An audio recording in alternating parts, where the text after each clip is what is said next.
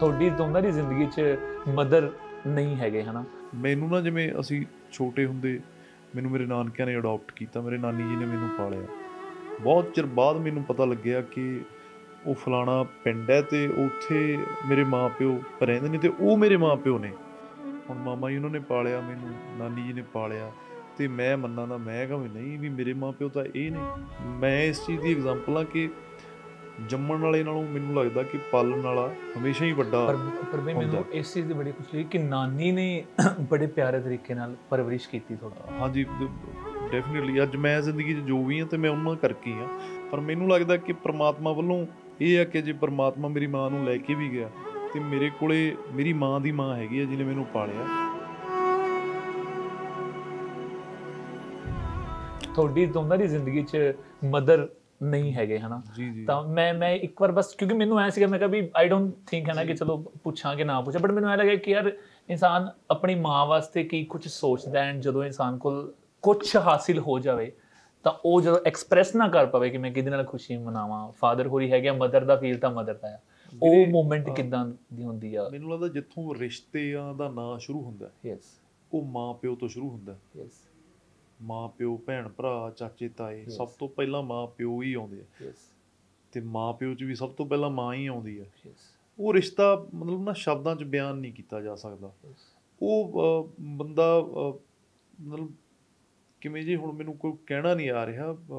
ਮੈਨੂੰ ਨਾ ਜਿਵੇਂ ਅਸੀਂ ਛੋਟੇ ਹੁੰਦੇ ਮੈਨੂੰ ਮੇਰੇ ਨਾਨਕਿਆਂ ਨੇ ਅਡਾਪਟ ਕੀਤਾ ਮੇਰੇ ਨਾਨੀ ਜੀ ਨੇ ਮੈਨੂੰ ਪਾਲਿਆ।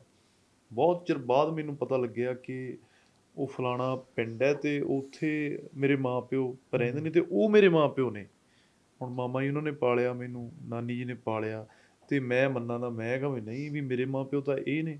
ਉਹ ਚਲੋ ਹੌਲੀ ਹੌਲੀ ਸਮੇਂ ਦੇ ਨਾਲ ਚੀਜ਼ਾਂ ਜਦੋਂ ਵੱਡੇ ਹੁੰਦੇ ਗਏ ਫਿਰ ਪਤਾ ਲੱਗਣ ਲੱਗ ਗਿਆ ਨਾ ਕਿ ਹਾਂ ਇਹ ਮ- ਮੰਮੀ ਨੇ ਡੈਡੀ ਨੇ ਭੈਣ ਭਰਾ ਨੇ ਸਾਰੇ।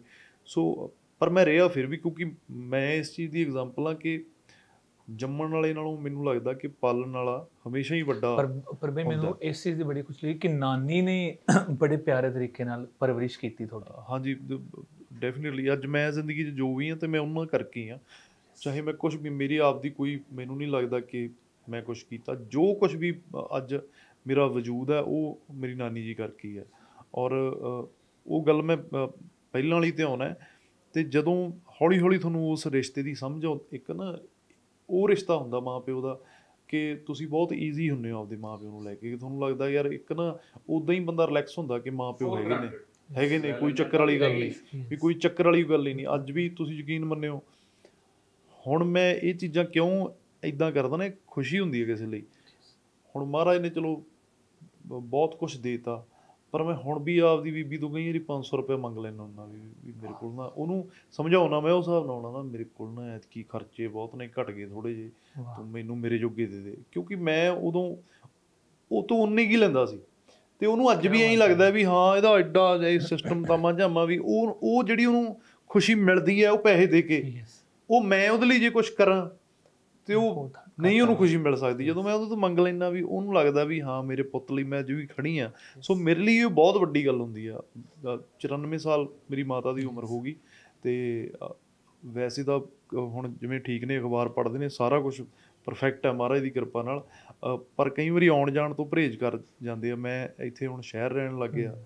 ਉਹ ਪਿੰਡ ਰਹਿੰਦੇ ਆ ਤੇ ਮੈਂ ਉਹਨਾਂ ਕੋਲ ਹਫ਼ਤੇ ਬਾਅਦ ਤੀਜੇ ਚੌਥੇ ਦਿਨ ਜਾਣਾ ਹੈ ਪਰਿਵਾਰ ਨੂੰ। ਪਰ ਮੈਂ ਰਜਨੀ ਵੇਲੇ ਉਹਨਾਂ ਨੂੰ ਮੈਂ ਜ਼ਰੂਰ ਲੈ ਕੇ ਆਇਆ ਸੀ ਤੇ ਮੈਂ ਸ਼ੁਕਰਾਨਾ ਵੀ ਉਹਨਾਂ ਨੂੰ ਜ਼ਰੂਰ ਦਿਖਾਉਂਗਾ ਕਿਉਂਕਿ ਮੈਨੂੰ ਲੱਗਦਾ ਕਿ ਜਦੋਂ ਤੁਹਾਡੇ ਮਾਪਿਓ ਤੁਹਾਡੀ ਤਰੱਕੀ ਦੇਖਦੇ ਆ ਸੋ ਮੇਰੇ ਲਈ ਮਾਂ ਦਾ ਮੈਨੂੰ ਵੀ ਜੇ ਮੈਂ ਜ਼ਿਆਦਾ ਕਹਾਂ ਦੇਖੋ ਮੇਰੀ ਤੁਹਾਡਾ ਤੁਹਾਨੂੰ ਜਿਹਨੇ ਜਨਮ ਦਿੱਤਾ ਉਹ ਉਹ ਉਹਦਾ ਤੁਸੀਂ ਕਦੇ ਵੀ ਜ਼ਿੰਦਗੀ 'ਚ ਦੇਣਾ ਨਹੀਂ ਦੇ ਸਕਦੇ। ਮੇਰੇ ਲਈ ਮੇਰੀ ਮਾਂ ਹਮੇਸ਼ਾ ਮੇਰੇ ਦਿਲ 'ਚ ਰਹਿੰਦੀ ਹੈ ਪਰ ਮੈਨੂੰ ਲੱਗਦਾ ਕਿ ਪ੍ਰਮਾਤਮਾ ਵੱਲੋਂ ਇਹ ਹੈ ਕਿ ਜੇ ਪ੍ਰਮਾਤਮਾ ਮੇਰੀ ਮਾਂ ਨੂੰ ਲੈ ਕੇ ਵੀ ਗਿਆ ਤੇ ਮੇਰੇ ਕੋਲੇ ਮੇਰੀ ਮਾਂ ਦੀ ਮਾਂ ਹੈਗੀ ਹੈ ਜਿਹਨੇ. ਮੈਨੂੰ ਪਾਲਿਆ ਸੋ। ਮੇਰੇ ਲਈ ਉਹ ਬਹੁਤ ਵੱਡੀ ਗੱਲ ਹੈ ਤੇ ਉਹ ਉਹਦਾ ਮੇਰੇ ਨਾਲ ਰਿਸ਼ਤਾ ਮੈਂ ਬਿਆਨ ਨਹੀਂ ਕਰ ਸਕਦਾ ਕਿ ਉਹ ਕਿਹਾ ਜਿਹਾ ਰਿਸ਼ਤਾ। ਉਹ ਬਹੁਤ ਕਮਾਲ ਦਾ ਰਿਸ਼ਤਾ ਹੈ ਮੈਨੂੰ ਇਹੀ ਸੀਗਾ ਔਰ ਹਾਂ।